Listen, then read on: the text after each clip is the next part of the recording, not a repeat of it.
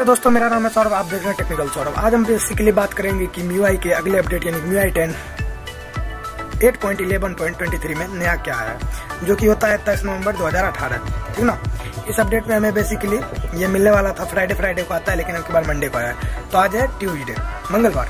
कल मैं वीडियो बना नहीं पाया, इसलिए आज बना के आपको दे रहा हूँ। ओके तो चलते हैं फ़ोन के स्क्रीन पर उससे पहले देख लेते हैं इंट्रो लाल बटन को दबाकर हमारे चैनल टेक्निकल सौरभ को सब्सक्राइब करें और साथ में दबाइए इस घंटे का बटन जिससे आपको मिल जाए हमारे सारे वीडियो का नोटिफिकेशन समय पर। तो दोस्तों, देखते हैं कि इस अगले अपडेट में क्या है। सबसे पहले चलते हैं अबाउट फ़ोन में सिस्टम अपडेट में। तो यहाँ पे आप देख लीजिए मेरा लेटेस्ट पे तेईस ग्यारह आठ और यहाँ व्हाट्स न्यू देखते हैं। वही same optimise system performance and improve जो कि इनका खानदानी है खानदानी जिसको हम हिंदी में बोल सकते हैं खानदानी और इनके फॉरम पे देख लेते हैं कि क्या लिखा हुआ है।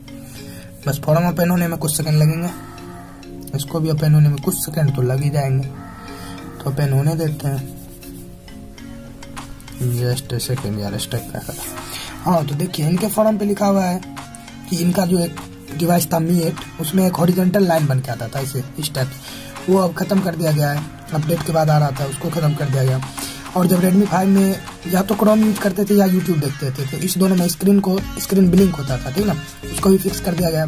उसके अलावा रेडमी फाइव में ऊपर में लिखाया हुआ रहता था कि SIM one H D capable मतलब वही वोल्टी वाला हाल था कुछ। और जो एंड्रॉयड पी पे थे, जो बेसिकली फ़ोन उसमें यदि आपको व्हाट्सएप का मैसेज आता था फ्लोटिंग बार में जो दिखाता है यहाँ पे छोटा सा वो नहीं दिखा रहा था। और कैलेंडर में भी कुछ प्रॉब्लम था, उसको भी फिक्स कर दिया गया। है ठीक है तो ये इनके फोरम पे था, अब मैं खुद से जो खोजा हूँ वो बताता हूँ आपको। तो किसी किसी फ़ोन में यहाँ पे आपको ये अपडेट क्या पता, जो यदि आपका रेडमी नोट फाइव प्रो सब है तो उस सब में एक नवंबर का सिक्योरिटी पैच आ गया है, ठीक? अब ये मेरा रेडमी फोर है तो इसमें तो अब आएगा नहीं, ओके? तो इसके अलावा हाँ तो इसके अलावा यहाँ पे फॉलोअर्स में वाला तीनों को इसमें घुसा दिया गया है अंदर। पहले यहाँ बाहर ही रहता था, यहाँ पे तीनों पिछले वीडियो में देख लीजिए। लेकिन अभी इस तीनों को अंदर कर दिया गया, जो कि खूबसूरत लगता है। उसके अलावा तो इसमें कुछ नया नहीं आया है। और उसके अलावा यहाँ वॉलपेपर में आपको नया मिल जाएगा। सॉरी वॉलपेपर में नहीं। मैं बैठ जाता हूँ। यहाँ लॉक स्क्रीन एंड पासवर्ड में जाके यदि आप देखते हैं, यहाँ पे वॉलपेपर करसोल इनका जो लॉक स्क्रीन वाला रहता है तो वहाँ पे आपको कुछ नई चीज़ें मिल जाती हैं। जैसे कि ग्लास कैटेगरी गैलरी पिक्चर इसमें गैलरी पिक्चर में जाके आप दो पिक्चर को अपना सिलेक्ट कर सकते हैं, जिसको कि आप लगा सकते हैं। लॉक स्क्रीन पे ठीक है जैसे कि मैं आपको दिखा रहा हूँ। यहाँ पे देखिए, एक तो वॉलपेपर डिटेल्स यहाँ पे मिल जाता है। जिसको आप क्लिक कीजिएगा। ये नहीं हो रहा है क्योंकि मेरा ये पर्सनल वाला था। मैं आपको दिखाता हूँ। एक सेकेंड वेट कीजिए। जैसे कि अब वॉलपेपर डिटेल्स पे हम क्लिक करेंगे तो इस तरह से हम न्यूज़ पढ़ सकते हैं। ठीक ना? ऊपर कर करके। आप जैसे कि देख सकते हैं। उसके अलावा यहाँ पे, यहाँ जो थ्री डॉट है, इस पर क्लिक कीजिएगा तो आप अपना कैटेगरी भी सिलेक्ट कर सकते हैं कि आपको क्या पढ़ना है, क्या नहीं पढ़ना है। और ये आप इसको कर सकते हैं फॉलो जिसको आप, जिसको आपको रखना है, जिसको नहीं रखना है। तो ये तो एक हो गया। इसके अलावा एक चीज़ और नहीं आई है। ये मेरे को सबसे अच्छा लगी। एक चीज़ ये आई है कि डिस्प्ले में जब आप जाते थे तो पहले ये टेक्स्ट साइज़ एंड स्केलिंग ये सिर्फ़ टेक्स्ट साइज़ लिखाता था। अब इसको भी फिक्स कर दिया गया है कि ये इसका, इसमें कुछ प्रॉब्लम हो जाता था। उसको भी फिक्स कर दिया गया है। उसके अलावा उसके अलावा तो जस्ट इसके अलावा इस अपडेट में कुछ भी नया नहीं आया है।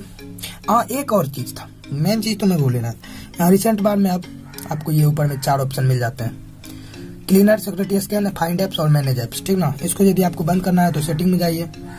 यहाँ पे आप चले जाइए लॉक स्क्रीन में। सॉरी सॉरी यहाँ पे आप चले जाइए home screen and and recent में और यहाँ सौ सजेशन को ऑफ़ कर दीजिए तो यहाँ पे ऊपर से खत्म हो जाएँगे। और सौ सजेशन को ऑन रखिए तो आपके ऊपर में ये चारों आएँगे। तो आज के वीडियो में इतना ही। हमको बस बताना था आपको कि नए अपडेट में क्या क्या आया है। इसके अलावा आपको एक चीज़ और बतानी है कि अभी तक Redmi 4a में ना ही न्यू कैमरा आया है UI आया है। देखिए, पुराने वाला ही कैमरा है। फ्रंट चाहे बैक दोनों में। फ्रंट में UI है। उसके अलावा बात करेंगे। उसके अलावा यदि बात करेंगे तो अभी तक अब इसमें तो सिक्योरिटी अपडेट आने से रहा। और यदि आपके फ़ोन में आ गया तो रेडमी नोट फ़ोन में तो मी आई टेन का अपडेट आ गया स्टेबल वाला। और मी ए टू में एंड्रॉइड पाई मिलना शुरू हो गया तो यदि आपके पास मी ए टू है तो जाकर चेक कीजिए। तो आज के वीडियो में बस इतना ही। यदि आपको वीडियो पसंद आए तो ज़रूर लाइक कीजिए। पसंद नहीं आए डिसलाइक कीजिए। ओके बाय मिलते हैं एक नए वीडियो के साथ। तब तक के लिए बाय